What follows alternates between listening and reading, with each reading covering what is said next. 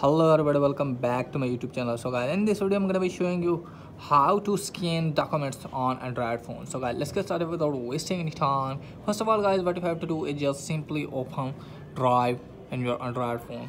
So guys after that what you have to do is just simply tap on the plus icon. And here you can see scan options. So just simply tap on scan.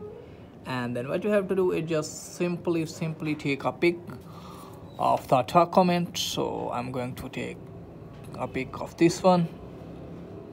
And then tap on yes here.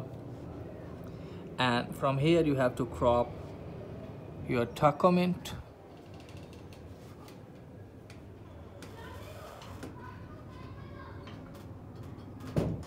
and then tap on done again.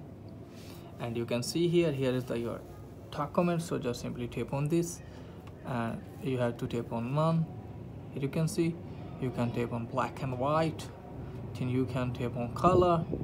And again you can tap on color drawing you can see just simply tap on save.